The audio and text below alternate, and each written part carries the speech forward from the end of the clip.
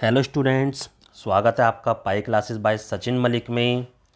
आज का हमारा टॉपिक, वही चैप्टर टू हमारा चल रहा है, विश्व जनसंख्या, वितरण, घनत्व और वृद्धि। इसकी पार्ट वन की वीडियो मैं पहले पोस्ट कर चुका हूँ। आज हम पार्ट टू की वीडियो कर रहे हैं। जिस बच्चे ने पार्ट वन की वीडियो नहीं देखी है, मेरे चैनल पर जाकर देख सकता है।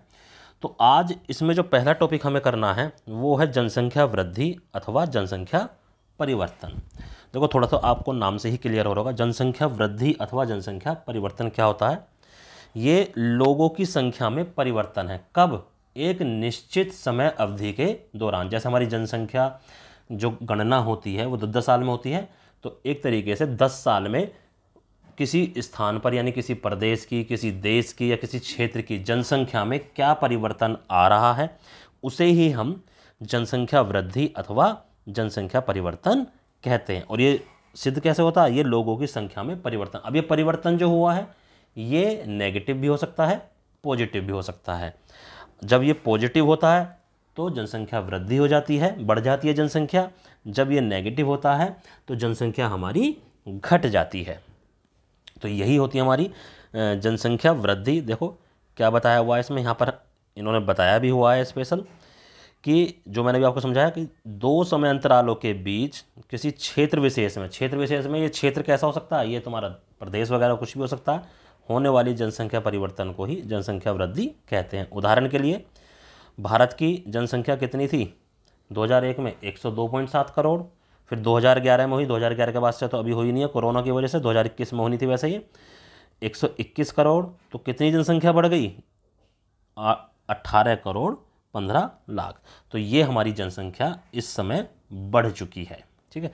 अब इसी जनसंख्या वृद्धि को प्रतिशत में व्यक्त कर दें तो इसको हम जनसंख्या वृद्धि दर कहते हैं। तो जनसंख्या वृद्धि दर क्या होगी? यही जनसंख्या परिवर्तन जो ऊपर हुआ है, इसको अगर प्रतिशत में व्यक्त कर दें तो इसको हम बोलते हैं जनसंख्या वृद्धि दर। अब है नेक्स्ट जनसंख्या की प्राकृतिक वृद्धि की। वृद्धि हुई कितनी है? देखो, प्राकृतिक वृद्धि का सीधा सा फार्मूला है, जन्म में से मृत्यु घटा दो। वृद्धि से मतलब ही बढ़ना है। तो ये कब होगी? जब जन्म ज़्यादा होगा और मृत्यु कम होंगी। देखो कहता है, किसी क्षेत्र विशेष में, दो समय अंतरालों में जन्म और मृत्यु के अंतर को से बढ़ने वाली जनसंख्या जो होती है, उसे ही प्राकृतिक वृद्धि कहा जाता है। ठीक है? आगे आ गया, जनसंख्या की वास्तविक वृद्धि। अब वास्तविक वृद्धि में भी थोड़ा सा ये जो फार्मूला था, प्राकृतिक वृद्धि का, इसमें थोड़ा सा चेंज कर दिया। इतना तो सेम है। यहाँ आप्रवास और उत्प्रवास और आ गया। आप्रवास ऐड हो गया, उत्प्रवास माइनस हो गया फार्मूला अब आप्रवास और उत्प्रवास क्या होते हैं? इस वीडियो को आगे देखते रहिए। जब हम प्रवास का टॉपिक पढ़ेंगे, उसमें आप्रवास और उत्प्रवास आपको बिल्कुल अच्छे से क्लियर हो जाएगा। जनसंख्या की धनात्मक वृद्धि, जब जन दर ज़्यादा हो, मृत्यु दर कम हो तो धनात्मक वृद्धि हो जाएगी। ठीक है? जन दर मृत्यु दर से अधिक हो और ऋणात्मक जब जन्म दर मृत्यु दर से कम हो जाए जन्म दर मृत्यु दर से कम हो जाए, तब हम इसे क्या कहते हैं? ऋणात्मक वृद्धि कहते हैं। तो ये जनसंख्या वृद्धि से रिलेटेड कुछ टर्म्स थी जो आपको सीखनी ज़रूरी थी। आइए नेक्स्ट अब आता है भारतीय जनसंख्या की चार प्रवृत्तियाँ या अवधियाँ, जो हमारी भारत की जनसंख्या है। उसकी चार अवधियाँ हैं मेन सबसे पहली है हमारे पास स्थिर वृद्धि की अवधि।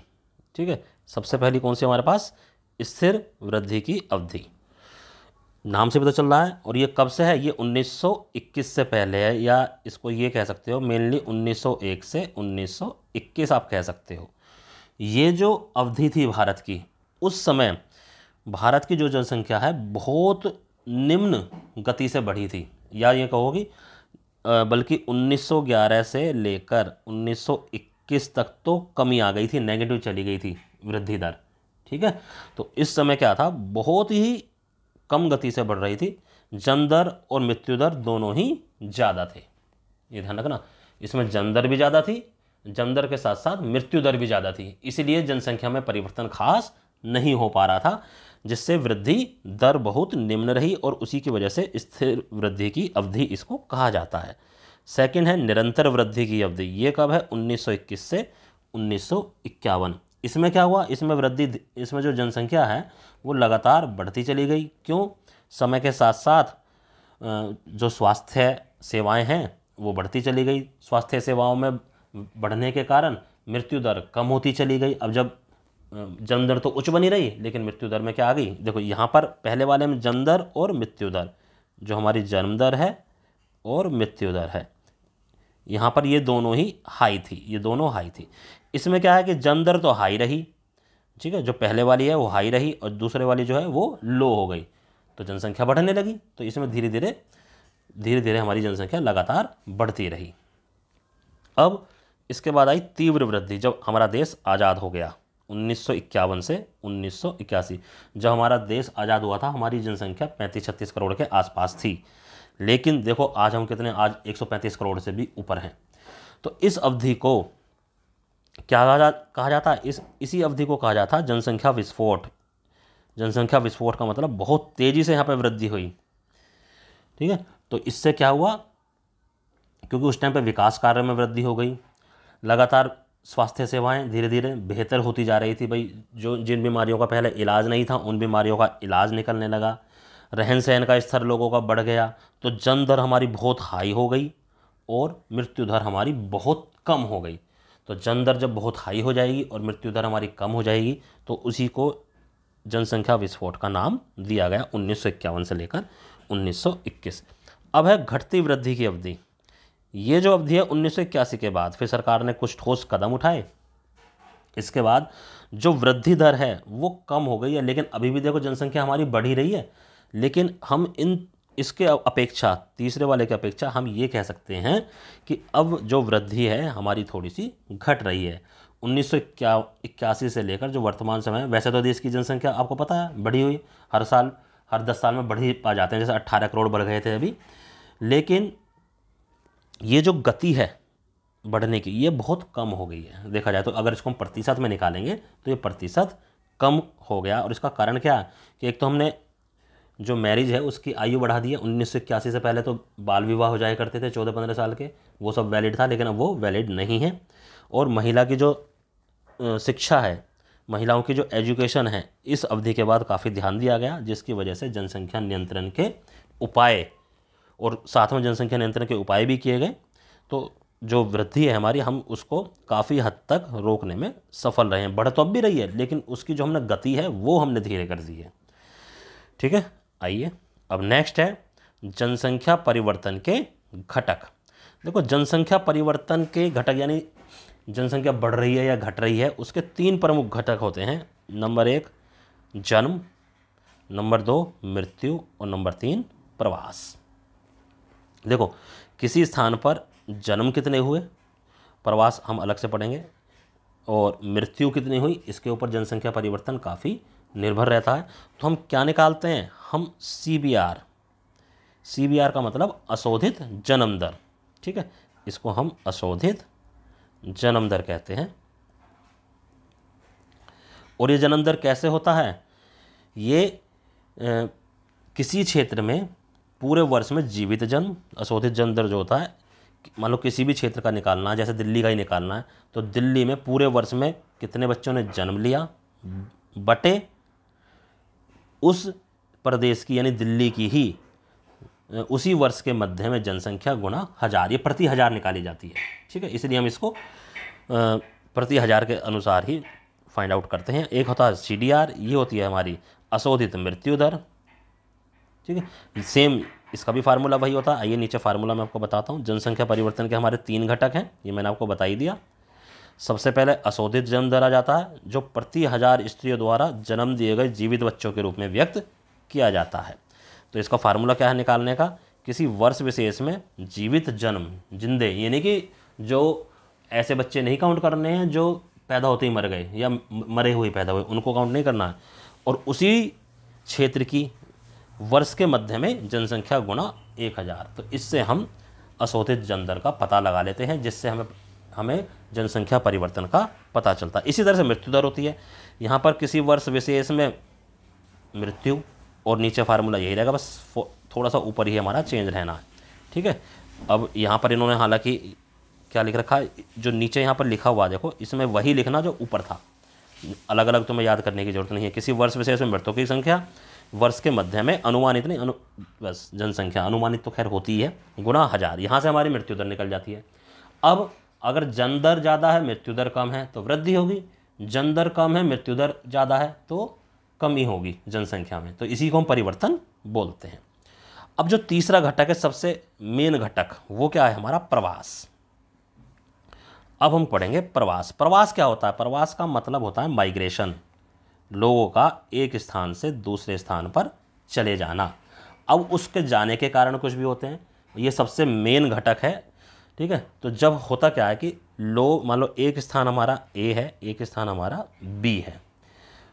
जब लोग या ये जो स्थान है, ये हमारा कोई शहर भी हो सकता है, गाँव हो सकता है, कोई नगर हो सकता है, कोई देश हो सकता है, ये दोनों हमारे किसी तरह के हो सकते हैं।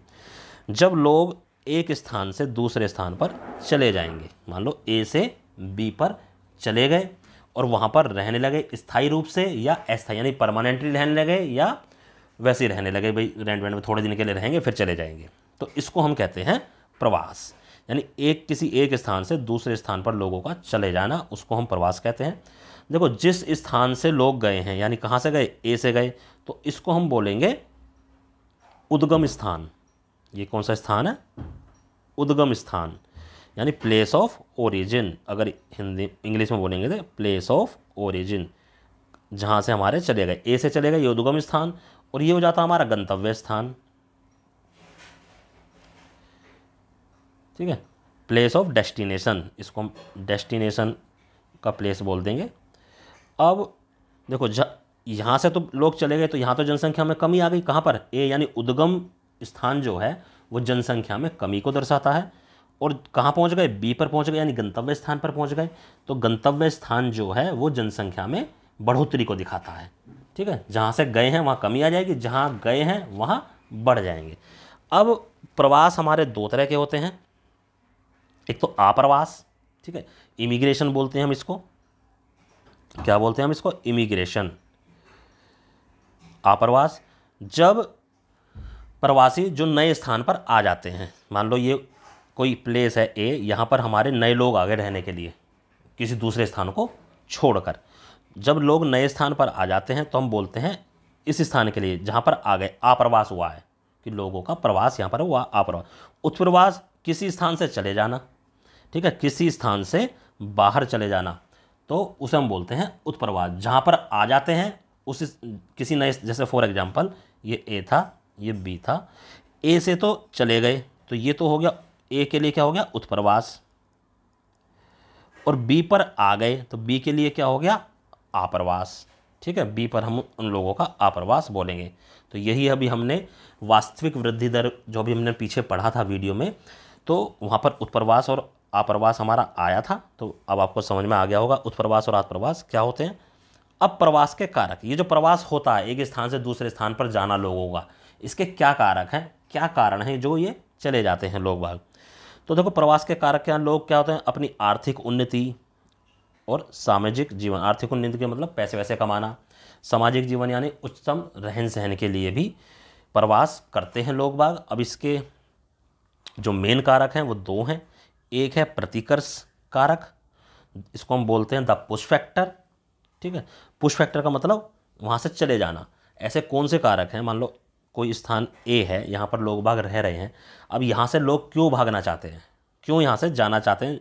यानी कि क्यों पुश हो रहे हैं वो यहाँ से जाने के लिए, जिसको प्रतिकर्ष कारक कहते हैं। इंग्लिश का नाम याद पढ़ोगे तो बहुत आसानी से पुश का मतलब चले जाना वहाँ से। अब क्यों चले जाते हैं भाई? बहुत सारे कारण हैं। बेरोजगारी है, वहाँ पर उनको रोज़गार नहीं मिल रहा। ठीक है? बेरोजगारी के कारण चले जाते हैं। वहाँ पर रहन सहन का स्तर जो है वो निम्न है। निम्न स्तर है रहन सहन का। कोई सुविधाएँ नहीं हैं, ज़्यादा खास ना स्वास्थ्य सेवाएँ हैं, ना शिक्षा की सेवा है। राजनीतिक उपद्रव ज़्यादा हैं, ठीक है? राजनीतिक उपद्रव का मतलब वहाँ पर दंगे वगैरह, अशांति और इस तरह की बदमाशी ज़्यादा होती हैं, ठीक है? अशांति फैली हुई है वहाँ पर। और जलवायु वहाँ पर ठीक नहीं है, कई बार जलवायु के कारण भी, जैसे जो पहाड़ों पर रहते हैं, वहाँ बहुत ज़्यादा बर्फ़बारी होती है तो लोग वहाँ परेशान रहते हैं कि भाई, चलो यहाँ से तो रहना बेकार है, कहीं और चलते हैं। यहाँ तो हमारा जीवन बिल्कुल कठिन हुआ हुआ, कठिन है, यहाँ पर रहना। और इसके अलावा महामारियाँ, अगर महामारी फैल जाए, तब भी लोग उपरवास तब भी लोग चले जाते हैं उस स्थान को छोड़कर कहीं से महामारी फैल गई, ठीक है? और कोई प्राकृतिक विपदा आ गई, प्राकृतिक विपदा जैसे भूकंप वगैरह आ जाते हैं, तब भी लोग हमारे चले जाते हैं। तो इसलिए, और ये जहाँ से चले जाते हैं, उसको क्या बोलते हैं? उद्गम स्थान। तो ये बहुत सारे कारण हैं, जिनकी वजह से उद्गम स्थान इनको लोगों को आकर्षित नहीं कर पाता। अब अपकर्ष कारक द फुल फैक्टर्स, मान लो बी स्थान पर चले गए। अब ये क्यों इसको आकर्षित कर रहा है। ये इसीलिए तो आकर्षित कर रहा है कि भाई यहाँ पर बेरोज, यहाँ पर क्या है? हमारी बेरोजगारी नहीं है। यहाँ पर हमें, क्या नाम है, रोज़गार वगैरह मिल जाता है। यहाँ रहन सहन का, जो इसमें कारक थे वो सारे उल्टे हैं इसके। यहाँ उच्च जीवन स्तर है रहन सहन का। राजनीतिक यहाँ पर शांति भी है, जलवायु भी अनुकूल है, स्वास्थ्य सेवाएँ बेहतर हैं, शैक्षिक सेवाएँ बेहतर हैं, परिवहन की सेवाएँ बेहतर हैं, ठीक है? और इस वजह से जो गंतव्य स्थान है, यानी जहाँ पर आप पहुँचे हो, जो गंतव्य स्थान है, वो लोगों को आकर्षित करता कि वो वहाँ पर जाकर रहना शुरू कर दें। तो ये हमारे दो कारक होते हैं। अब हम देखते हैं जनसंख्या वृद्धि की प्रवृत्तियाँ, विश्व में, यानी प्रवृत्तियाँ का मतलब अवधियाँ। तो विश्व में जनसंख्या कैसे कैसे बढ़ी, कब कब बढ़ी? देखो, वर्तमान समय में कितनी है जनसंख्या विश्व की? ये तो आपको पता ही है। कितनी है? 700 करोड़ से भी ऊपर है वर्तमान समय में। लेकिन क्या ये 700 करोड़ रातों रात हो गई? नहीं, इनमें बहुत साल लगे हैं, शताब्दियाँ लगी हैं। जब शुरुआत के समय था तो विश्व की जनसंख्या बहुत ही धीरे धीरे बढ़ती थी उस टाइम पे, बिल्कुल आदि मानव काल के टाइम की बात है। और सौ वर्षों में फिर आगे आगे क्या हुआ? धीरे धीरे हुआ तो फिर सौ वर्षों में ही दुगनी होनी ये शुरू हो गई। देखो, ये यहाँ पर दे रखा है इन्होंने यहाँ पे कि वर्तमान से बारह हज़ार वर्ष पूर्व, यानी दस हज़ार वर्ष पूर्व। जनसंख्या का जो है आकार, देखो यहाँ से पता चला बढ़ने का, ये बहुत छोटा आकार था, ठीक है? और फिर भैया ईसा जी का जन्म हुआ, जिसको ईसा का जन्म कहते हैं तो उस टाइम पे जो हमारी जनसंख्या मानी गई पॉइंट दो पाँच अरब, यानी पच्चीस लाख से पचास लाख के आसपास, ये उस टाइम पे अनुमानित थी, ठीक है? ईसा के जन्म के प्रथम सौ वर्ष, यानी जब यहाँ जन्म हुआ, इसके पहले सौ वर्ष जब हुए तो उसमें पहले सौ वर्ष में पच्चीस तीस लाख से फिर ये लगभग कितनी हो गई? लगभग ये तीस करोड़ तक आ गई थी। फिर थोड़ा सा यहाँ से ये बढ़नी शुरू हुई। फिर क्या हुआ? सोलहवीं और सत्रहवीं शताब्दी में क्या हो गया? औद्योगिक क्रांति आ गई। औद्योगिक क्रांति व्यापार करने लगे लोग बाग, एक एक स्थान से दूसरे स्थान पर जाने लगे। उससे जनसंख्या के बढ़ने का हमारा मंच शुरू हो गया। ठीक है? तो सोलहवीं जो शताब्दी आई, उसके पश्चात तकनीक में सुधार हुआ, व्यापार हुआ लोग उद्योगों की उन्नति होने लगी, जिसके कारण जनसंख्या बड़ी विस्फोटक रूप से बढ़ी। हालाँकि हमने वर्तमान समय में जो आज का समय चल रहा है, उसमें काफ़ी हद तक काबू पा लिया है। लेकिन फिर भी अब जनसंख्या इतनी ज़्यादा हो गई है कि अगर एक परसेंट भी बढ़ती है तो बहुत ज़्यादा जनसंख्या उसको बढ़ा हुआ माना जा सकता है। आइए से हम इस ग्राफ के थ्रू समझते हैं। तो जैसे यहाँ पर बताई, ये सोलहवीं और सत्रहवीं शताब्दी थी। यहाँ के बाद देखो धीरे धीरे ग्राफ कैसे ऊपर, यहाँ से बढ़ना शुरू हुआ, लगभग सत्रह सौ पचास से लगभग, है ना? यहाँ से ऐसा बन गया। तो ये देखो, यहाँ पर इधर बताया ना कि इसमें, ये, जो हमारा पास 1650 ये 1600 का जो जन्म, ये 1600 के आसपास जो था, यहाँ पर हमारी 50 करोड़ के आसपास जनसंख्या थी। फिर 1750 आया, यहाँ पर हमारी लगभग 55 करोड़ हो गई, कुल पाँच करोड़ ही बढ़ी। फिर 1830 का ये समय आया ठीक है, जब परिवहन वगैरह सब कुछ आ गए औद्योगिक क्रांति, सफ़ाई, चिकित्सा, ये सारी हमारे को क्या मिलने लगी? सुविधाएँ मिलने लगी। तो लगभग अट्ठारह में जनसंख्या हमारी एक अरब हो गई। अब 1830 में अगले सौ वर्षों में, यानी 1930 में ही फिर ये दो अरब हो गई। बहुत तेज़ी से जनसंख्या बढ़ी। फिर 1960 में देखो, फिर 30 सालों में तीन अरब हो गई। यहाँ तो सौ साल लगे, अब 30 साल में ही हो गई। फिर आ गए पंद्रह साल में ही चार अरब हो गई। अब ये हर बारह साल में एक एक अरब बढ़ रही है, लगभग। देखो यहाँ पर, पंद्रह वर्ष में हो गई, हर ये बारह साल में एक एक अरब हमारी बढ़ जाती है। देखो, कित, यहाँ कितना टाइम लगा? सौ साल। और अब कितना टाइम लग रहा है? क्यों? ऐसा क्यों? क्योंकि स्वास्थ्य सेवाएँ बहुत बेहतर हो गई हैं है ना? अब आपको पता है, कैंसर जैसी जो बीमारी है, उससे भी लोग, उसका भी लोगों ने इलाज ढूंढ लिया। देखो, कोरोना महामारी आई। अब कोरोना महामारी हमारे वैज्ञानिक इतने हुए धीरे धीरे उसका टीका बना लिया। अब कुछ ही समय पश्चात इसका क्या नाम है, दवाई भी आ जाएगी ताकि कोरोना किसी को हुआ, अपना एक इंजेक्शन दिया, कोरोना ठीक, उसमें टाइम लग सकता है। तो अब हमारा जो है, तकनीक जो है, विज्ञान जो है, बहुत प्रगति कर चुका है, जिसकी वजह से अब मृत्यु दर में बहुत ही कमी आ गई है।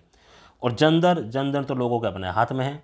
अगर लो ये अब लोगों के ऊपर डिपेंड हो गया है।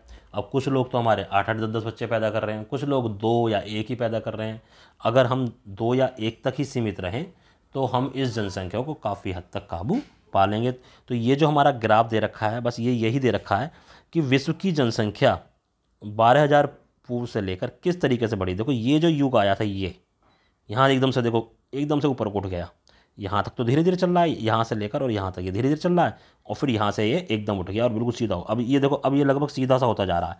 सीधा होने का मतलब है, अब यहाँ पर हमने थोड़ा सा इसका काबू पाना शुरू कर दिया। अब एक निश्चित गति से बढ़ रही है, विस्फोट नहीं हो रहा है। तो इस तरह से ये टॉपिक था जनसंख्या वृद्धि की प्रवृत्तियाँ। बस इस वीडियो में यही टॉपिक हम करेंगे। अब यही टॉपिक जो हमने आपको पढ़ाए हैं इस वीडियो में, यही आपको अपनी एन से अब अपना आप पढ़ने आसान चैप्टर है, बहुत अच्छा स्कोर आप इस चैप्टर के क्वेश्चन से कर सकते हो, क्योंकि इसमें ज़्यादा कुछ नहीं है, थोड़ा बस समझ लो, फिर इसको अपनी लैंग्वेज में आप किसी भी प्रकार से लिख सकते हो। उम्मीद करता हूँ वीडियो से आज के टॉपिक आपको बहुत अच्छे से समझ में आए होंगे।